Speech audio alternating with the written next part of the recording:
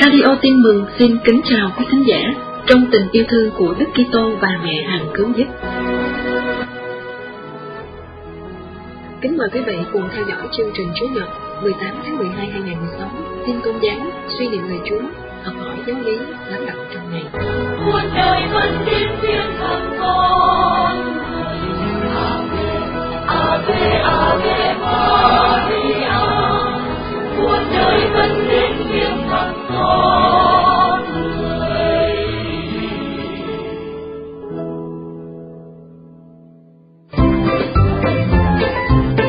Mời quý vị cùng Mai Thiên điểm qua bản tin công giáo. Nghĩa trang công giáo ở Texas an táng miễn phí cho các bào thai đã chết vì bị phá hay sảy thai. 50.000 lời chúc và bữa ăn sáng với người vô gia cư. Một tuổi già yên bình, sống đạo, phong phú và vui vẻ. Âm mưu đánh bom chợ bán hàng Noel ở Đức bị phát hiện, thủ phạm mới 12 tuổi. Âm mưu đánh bom chợ bán hàng Noel ở Đức bị phát hiện, thủ phạm mới 12 tuổi. Nhà chức trách Đức cho biết một bé trai 12 tuổi đã đặt bom nhằm phá nổ một chợ bán hàng Noel ở Đức. Quả bom đã được phát hiện ở gần khu Town ở Ludwigshafen vào đầu tháng này. Nhưng ông Hubert Strober, phát ngôn viên cho văn phòng công tố cũng cho biết sẽ không chính thức mở cuộc điều tra vì thủ phạm là một bé trai dưới 14 tuổi. Tuy nhiên, ông cho biết Viện Công tố của Liên bang đã được thông báo. Thủ phạm sinh ra ở Đức, người gốc Iraq. Các viên chức cho biết đó là một cái bao màu đen trong một thùng rác vào ngày 5 tháng 12, chứa đựng loại chất nổ thường dùng làm pháo. Cái bao sau đó đã được phá hủy. Theo điều tra thì trước đó vào ngày 26 tháng 11, thằng bé cũng đã tìm cách phá nổ khu chợ Noel ở Ludwigshafen với một túi đeo lưng có chất nổ trộn với đinh. Các viên chức không cho biết những chiếc bao vừa nói là hai chiếc khác nhau hay chỉ là một. Họ cho biết có thể em bé này là nạn nhân tuyên truyền của một phần tử bí mật nhà nước Hồi giáo tự xưng. Em đã bày tỏ hy vọng được đi qua Iraq để gia nhập nhà nước Hồi giáo tự xưng theo lời viên chức. Vì luật ở Đức không quy tội những thủ phạm trẻ, cho nên em bé 12 tuổi đã không bị giam. Thay vào đó, em bị đưa vào chương trình con nuôi foster care. Nghĩa trang công giáo ở Texas an táng miễn phí cho các bào thai đã chết vì bị phá hay sảy thai. Nghĩa trang công giáo ở Texas an táng miễn phí cho các bào thai đã chết vì bị phá hay sảy thai. Giám đốc Hội đồng Công giáo Texas phát biểu, đối với phần còn lại của thi thể con người, chúng ta phải xử sự một cách có nhân ái, kính trọng, bất kể họ đã sống bao lâu và đã chết như thế nào. Texas hiện đang phải đối mặt với những vụ kiện chống lại việc chôn cất hay hỏa táng thi hài thai nhi bị phá hay sảy thai. Nhưng tại các nghĩa trang công giáo tại Texas, các đức giám mục vẫn cho phát triển chương trình cung cấp việc chôn cất miễn phí cho các bào thai đã chết. Bà Jennifer Carr Olmont, giám đốc Hội Công giáo Texas tuyên bố, việc chôn cất người chết là một hành động của lòng thương xót. Chúng tôi đối xử một cách nhân ái và kính trọng đối với phần cơ thể của con người, bất kể họ đã sống bao lâu và đã chết như thế nào. Ở Texas có 50 nghĩa trang công giáo, ở tổng giáo phận San Antonio, việc cung cấp chỗ và dịch vụ mai táng cho các thai nhi bị phá đã được thực hiện từ lâu. Nhiều bệnh viện đã hợp tác với các nhà quàng để chôn cất phần còn lại của các thai nhi bị phá. Theo dữ liệu của Sở Y tế bang Texas, thì chỉ nội trong năm 2014, tại Texas có gần 55.000 trường hợp nạo phá thai. 50.000 lời chúc và bữa ăn sáng với người vô gia cư. Văn phòng báo chí tòa thánh cho biết, nhân dịp sinh nhật 80 của Đức Francisco, 8 người vô gia cư đến nhà Mata để mừng sinh nhật Ngài. Đã có 50.000 email trên khắp thế giới gửi đến mừng sinh nhật, nhiều nhất là tiếng Anh, Tây Ban Nha và Ý, và có cả ngàn email bằng tiếng Latin. Đức Tổng giám mục Konrad Krajewski, người lo việc từ thiện của Đức Thánh Cha, đã hướng dẫn các người vô gia cư đến gặp Đức Giáo Hoàng từ sáng sớm họ đã có mặt chung quanh các cột lớn của đền thờ Thánh Phêrô. Họ đủ các quốc tịch, bốn người Ý, một người Moldova, hai người Roma, một người Peru. Lúc 7 giờ 15 sáng, Đức Francisco gặp họ, triều mến thăm hỏi từng người một. Các người vô gia cư tặng Đức Francisco bó hoa hướng dương và đã được trưng ngay ở nhà nguyện Thánh Marta. Sau đó, Ngài mời họ vào phòng Domus để ăn sáng. Ngài ngồi nói chuyện với họ và tặng họ bánh ngọt đặc biệt của Argentina Ngài rời phòng ăn lúc 7 giờ 45 để đến nhà nguyện Phaolô dân thánh lễ với các hồng y. Vào cuối bữa ăn trưa hay tối sẽ có bánh sinh nhật và các khách trọ trong các phòng ngủ do cơ quan từ thiện giáo hoàng đảm trách sẽ nhận một phong bì nhỏ với thịt chúc lễ Giáng sinh và một món quà nhỏ. Đức giám mục Enrico Fies, giám đốc Caritas Roma tuyên bố, thêm một lần nữa, giám mục giáo phận Roma chúng ta đã làm cho chúng ta ngạc nhiên về lòng tận tụy của Ngài đối với người nghèo ở Roma khi Ngài chia sẻ ngày sinh nhật của mình với họ. Nhân danh các trung tâm của chúng tôi, tôi xin cảm ơn Đức Thánh Cha và chúc Ngài trong những năm 80 tuổi, Ngài tiếp tục phục vụ Chúa Kitô và giáo hội qua các cuộc gặp gỡ. Một tuổi già bình yên, sống đạo, phong phú và vui vẻ. Cho những năm 80 tuổi của mình, Đức Francisco xin cầu theo ý chỉ, một tuổi già yên bình, sống đạo, phong phú và vui vẻ. Một tuổi già yên bình, sống đạo, phong phú và vui vẻ. Tuổi 80, đó là mong ước của Đức Francisco trong những năm tới. Trong thánh lễ dân sáng thứ Bảy 17 tháng 12, Đức Francisco đã xin cầu nguyện theo ý chỉ này. Khoảng mười mấy hồng y đã bên cạnh Đức Francisco trong thánh lễ sinh nhật của Ngài ở nhà nguyện Paulo ở Vatican. Vào cuối lễ, Đức Francisco đã nói với các hồng y, tôi xin cảm ơn anh em buổi lễ đồng tế này, xin cảm ơn anh em đã cùng đi với tôi đến ngày này. Tôi xin hết lòng cảm ơn. Đức Francisco vừa cười vừa thổ lộ, từ vài ngày nay, một chữ có vẻ không tốt đến trong đầu tôi, tuổi già, khá sợ. Hôm qua, một trong các cộng sự viên của Ngài tặng Ngài món quà, tác phẩm tuổi già, của triết gia thời cổ đại Cicerone. Nhưng tôi còn nhớ ngày 15 tháng 3 2013, trong cuộc gặp gỡ đầu tiên của chúng ta, tôi có nói, tuổi già theo khát khôn ngoan, chúng ta cùng hy vọng để tôi được như vậy. Đức Francisco đọc một bài thơ của thi sĩ thời cổ đại Ovid, nói tuổi già âm thầm đến. Ngài nói thêm, nhưng nếu mình nghĩ tuổi già như một giai đoạn của cuộc đời, một giai đoạn mang đến niềm vui, khôn ngoan, hy vọng thì mình lại bắt đầu sống. Đức Francisco nói tiếp, lần này Ngài trích một bài thơ khác, bài thơ của thi sĩ Đức Dietrich Hölderlin, thế kỷ 18. Tuổi già là bình yên, sống đạo. Anh em cầu nguyện để tuổi già của tôi được như vậy, bình yên, sống đạo và phong phú. Trước thánh lễ, Hồng y niên trưởng Angelo Sodano đã bày tỏ sự gần gũi của các hồng y với người kế nhiệm Thánh Phêrô trong ngày đặc biệt này của Ngài. Ngài trích Thánh Vịnh 117, bài Thánh Vịnh kêu gọi mọi người ca tụng Chúa. Muôn nước hỡi, hãy ngợi khen Chúa, ngàn dân hỡi, hãy chúc tụng Ngài, vì tình Chúa thương ta thật mãnh liệt, lòng thành tín của người bền vững muôn năm. Alleluia! Trong tinh thần này, chúng tôi, các hồng y ở Roma, chúng tôi ở bên cạnh cha với ước muốn tha thiết nhất là cầu nguyện cho cha. Niên trưởng Hồng Y đoàn ghi nhận công ơn sinh thành của phụ mẫu Đức George Mario Bergoglio và tất cả những người khác đã góp phần đào tạo Ngài cho đến ngày 13 tháng 3 2013, ngày Ngài được bầu chọn. Ngài nói tiếp, hôm nay chúng tôi đồng tế thánh lễ này để tạ ơn Chúa đã chọn cha cho sứ mệnh này và cho tất cả tình yêu mà cha hoàn tựu trong sứ mệnh này. Ngài kết thúc, chúng tôi gần gũi với cha, lời cầu nguyện của chúng tôi luôn đi theo cha. Ad Muntos Anos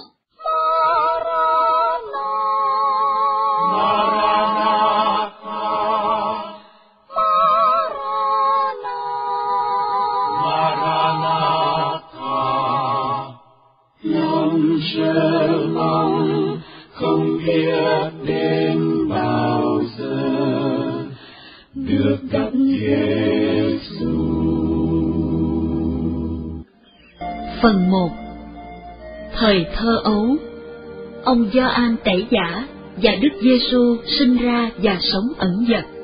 Truyền tin cho ông Zakaria. Luca chương 1 từ câu 5 đến câu 25 Thời vua Herode cai trị miền Jude, có một vị tư tế thuộc nhóm Abia tên là Zakaria. Vợ ông là Elizabeth cũng thuộc dòng tộc tư tế Aharon. Cả hai ông bà đều là người công chính trước mặt Thiên Chúa. Sống đúng theo mọi điều răn và mệnh lệnh của Chúa, không ai chê trách được điều gì. Nhưng họ lại không có con vì bà Elizabeth là người hiếm hoi, và lại cả hai đều đã cao niên. Sau đây là chuyện xảy ra trong lúc ông đang lo việc tế tự trước nhan Thiên Chúa, khi đến phiên của nhóm ông. Trong cuộc bắt thăm thường lệ của hàng tư tế, ông đã chứng thăm được vào dân hương trong đền thờ của Đức Chúa.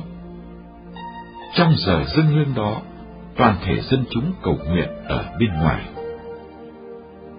Bỗng một sứ thần của Chúa hiện ra với ông, đứng bên phải hương án. Thấy vậy, ông Zakaria bối rối và nỗi sợ hãi ập xuống trên ông. Nhưng sứ thần bảo ông, Này ông Zakaria, đừng sợ, vì Thiên Chúa đã nhận lời ông cầu xin. Bà Elizabeth vợ ông sẽ sinh cho ông một đứa con trai và ông phải đặt tên cho con là Gioan.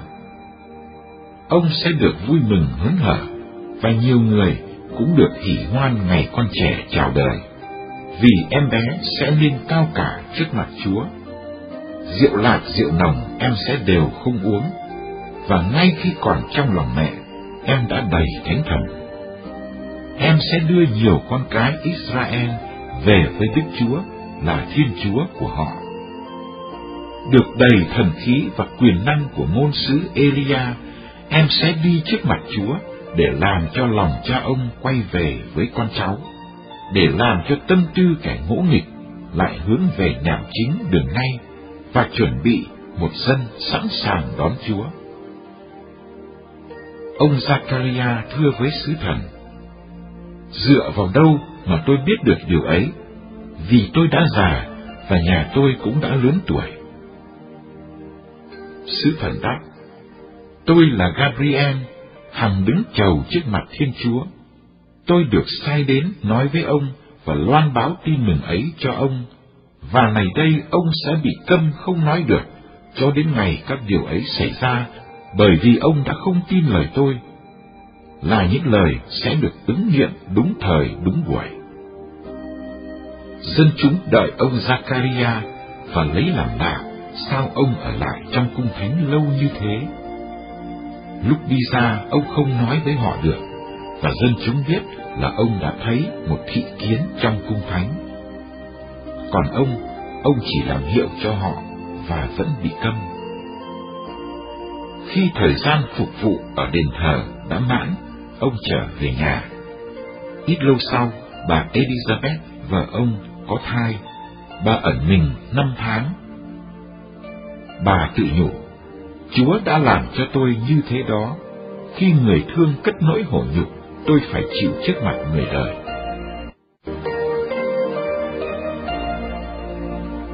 Đừng sợ. Ông Zakaria cầu xin và Chúa đã nhận lời. Thế nhưng khi Ngài hứa ban cho ông một người con trai theo lòng ước nguyện, thì ông lại hoang mang, sợ hãi và đòi Chúa cho một dấu lạ. Dựa vào đâu mà tôi biết được các điều ấy vì tôi đã già? Hóa ra, giữa lời cầu và niềm tin là một khoảng cách xa vời vợi, con người có thể cầu nguyện nhưng chưa hẳn đã hoàn toàn để cho Thiên Chúa hoạch định chương trình của Ngài. Điệp khúc Đừng Sợ xuất hiện 365 lần trong Kinh Thánh và hầu hết để gửi cho những người được coi là công chính. Một lần nữa, như gửi đến cho mỗi người chúng ta trong mùa mộng này. Giữa biển đời trần gian, giữa phong ba bão tố của thất bại, mất mát, bệnh tật, thù oán và ghen tương, lắm phen làm cho bạn hoảng sợ, bạn có tìm đến Chúa để cầu nguyện, và nội tâm của bạn đã thực sự được giải tỏa để ký thác hoàn toàn vào tình yêu của Chúa chưa? Hay những lý luận và phân tích tự nhiên đã cản trở niềm tin của bạn? Cha Teilhard de Chardin Bí đức tin như một cú nhảy, tin là nhảy tới, lao vào khoảng không mà biết rằng đó không phải là khoảng không hung hút bất tận, nhưng chắc chắn trong khoảng không ấy sẽ có bàn tay Thiên Chúa đón đỡ lấy mình. Hiện tại, điều gì đang làm bạn sợ hãi? Chỉ trong niềm tin bất tận vào quyền năng Chúa bạn mới được giải thoát. Hãy dành ít phút thinh lặng trong ngày để gặp gỡ Chúa. Lạy Chúa, chỉ trong Chúa con mới có bình an. Xin cho con đức tin cứng cáp qua những cọ sát đau thương của phận người.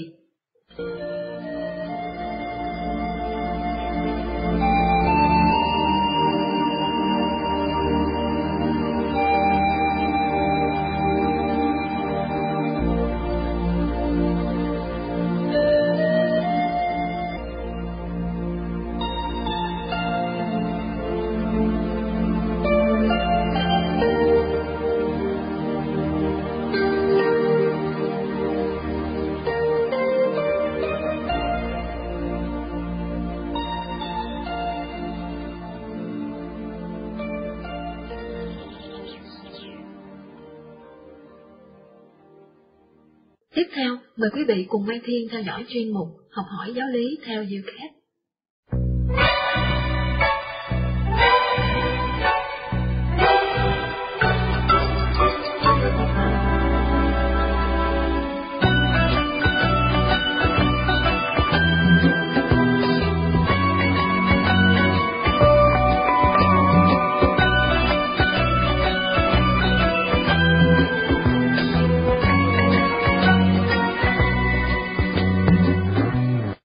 Điều răn của hội thánh có mục đích gì? Buộc những ai tuân giữ? Năm điều răn hội thánh cốt ý dùng những đòi hỏi tối thiểu để nhắc nhở cho ta rằng ta không thể là Kitô hữu nếu không tự mình cố gắng sống theo luân lý, không tham gia cụ thể trong đời sống bí tích của hội thánh, không sống liên đới với hội thánh. Điều răn hội thánh buộc mọi người công giáo.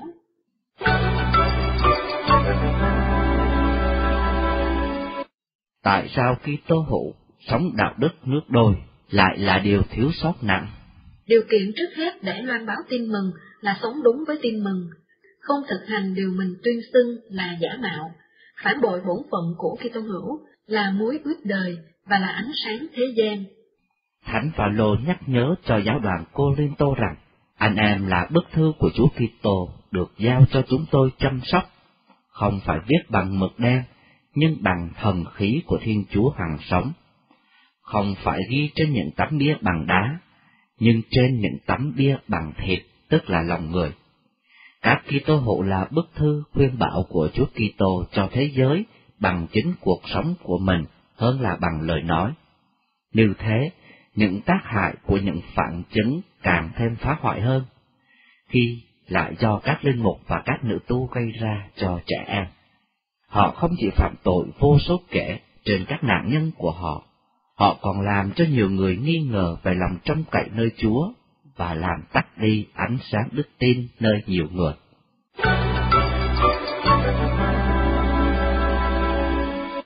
Thưa Thầy, tôi phải làm gì để được sống đời đời? Chúa Giêsu nói, nếu anh muốn vào sự sống, hãy giữ các điều răn, rồi người nói thêm, hãy đi theo tôi. Là Kitô hữu, phải sống hơn là chỉ giữ đúng các điều răn là Kitô hữu là duy trì mối quan hệ sống động với Chúa Giêsu. Một Kitô hữu nối kết sâu xa bằng cả bản thân mình với Chúa của mình và cùng với người đi theo con đường dẫn tới sự sống thật.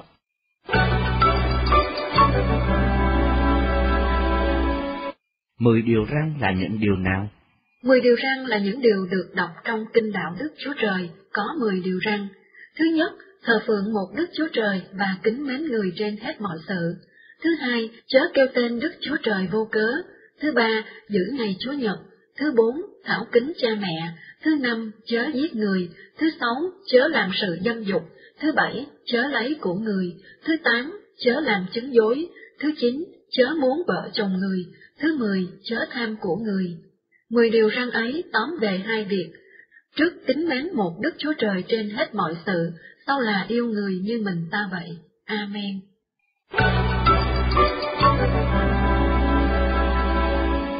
Mười điều răn có phải là bản danh sách do ngẫu nhiên tập hợp lại không? Không, mười điều răn làm nên một bản thống nhất, điều nọ liên quan tới điều kia, bạn không thể tách ra từng điều, ai phạm một điều là phạm toàn bộ lề luật.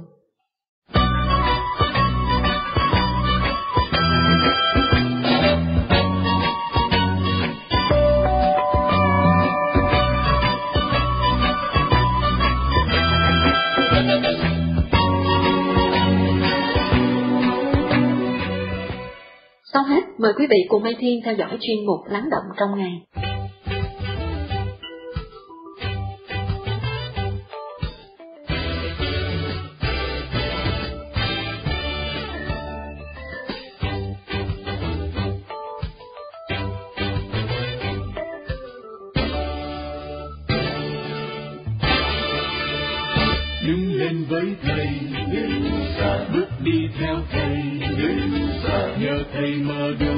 Đường về chân nơi đầu dối gian chống lại bất công qua thầy tìm ra sự thân cách hoa càng ngăn mọi ác tâm, đẩy lùi sự chết chóc. Chung tay bay tay bảo vệ sự sống bước theo thầy đừng xa đừng xa giống như thầy đừng xa đừng xa Buổi